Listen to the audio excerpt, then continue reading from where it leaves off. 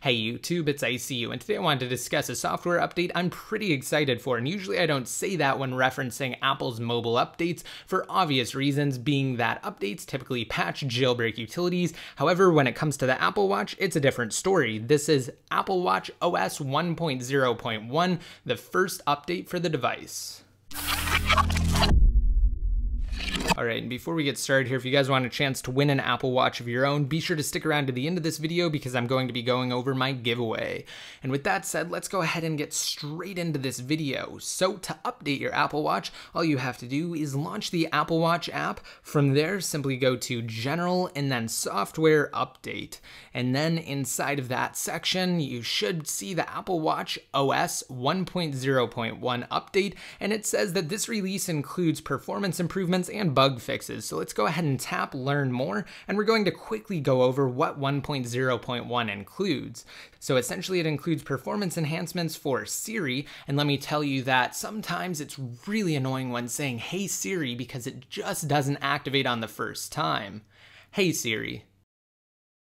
Hey Siri.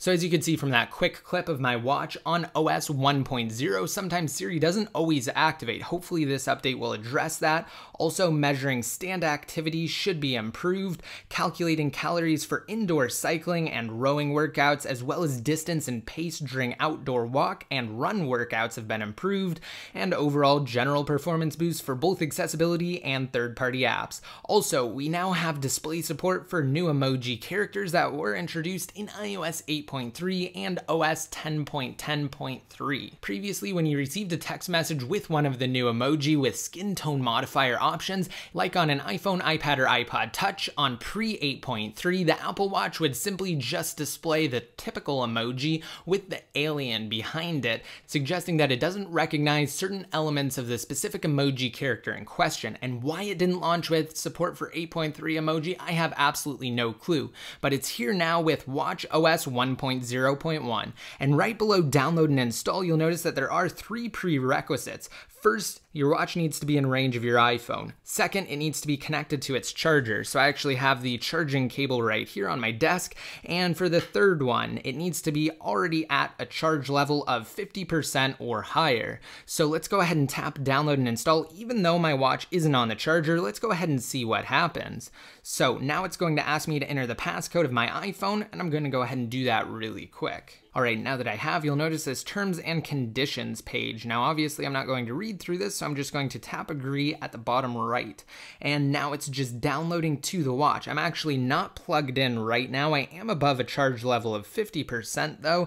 It says up in the top left-hand corner on my complication there, 80%. Let's go ahead and get a close-up of that so you know that my watch is indeed at a charge level of 50 or higher.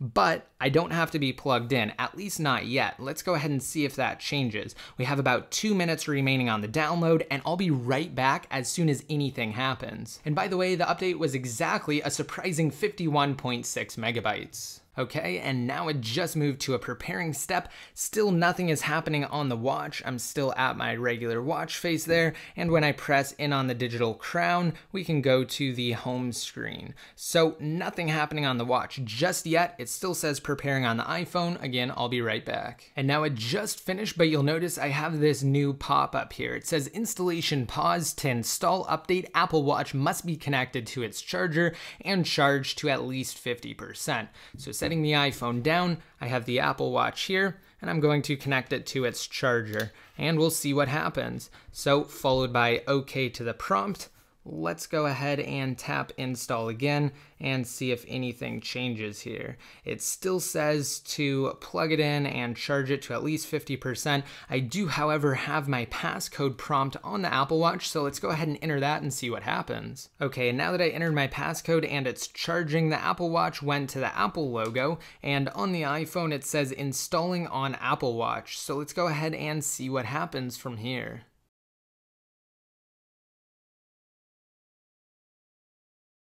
So now we have a spinning logo on the Apple Watch. It was just very brief, and we have the Apple logo surrounded by a little wheel that has its progress indicator, similar to how the Apple Watch was actually set up. I don't know if you guys saw my unboxing video or if you have an Apple Watch yourself, but if you did or you do, you will be familiar with that process. And getting a close up here, because it's kind of hard to see, you'll notice that the progress wheel is slowly starting to fill in. So I'm going to set the Apple Watch down and we'll go ahead and return once it's finished.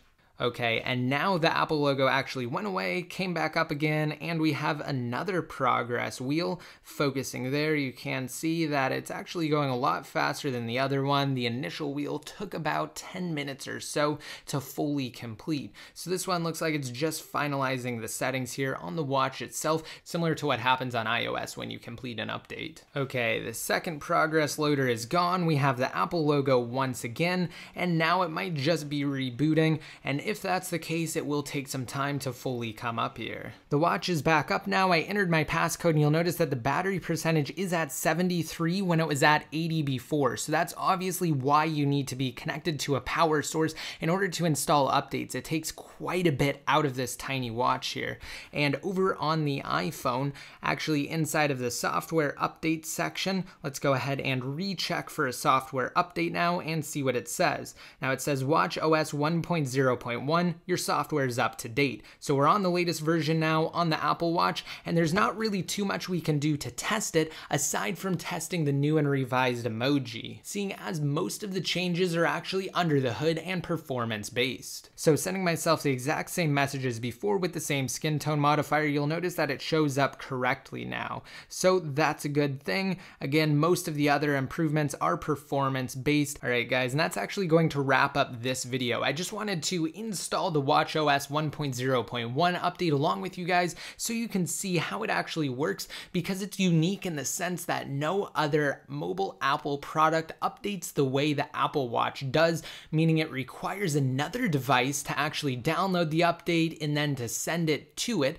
because of course you can't connect the Apple Watch to your computer and use something like iTunes. At least we can't as the consumers. There is a mystery port hidden on the Apple Watch underneath one of the for the watch bands, but beyond that, we don't have access to it and we simply can update it through our iPhones. So again, it's unique. I wanted to show you guys that process. And if you like this video and this quick walkthrough, be sure to rate it up. And if you want to enter to win a brand new Apple Watch of your own, simply navigate to freeappsfast.com inside of Mobile Safari and sign up. Once you do come back here, again, rate this video up and leave a relevant comment down below in the comment section containing your referral code, which is the piece that appears in the link itself itself after the equals symbol in the fourth tab down below at the bottom there. Again, I really do hope you guys enjoyed this video. And if you want to be updated more often, such as when I release new videos covering various things like the Apple Watch and jailbreaking, just be sure to like me on Facebook and follow me on Twitter. And until next time, this is ICU signing out.